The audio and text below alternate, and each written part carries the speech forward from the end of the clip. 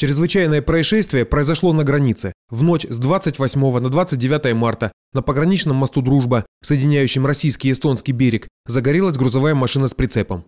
На грузовике были литовские номера, а возгорание произошло рядом с российским шлагбаумом перед проверкой документов. Как утверждают свидетели события, внезапно загорелся тент кузова. Первыми на месте происшествия оказались пожарные из соседнего эстонского государства. Затем приехала пожарная машина с российской стороны.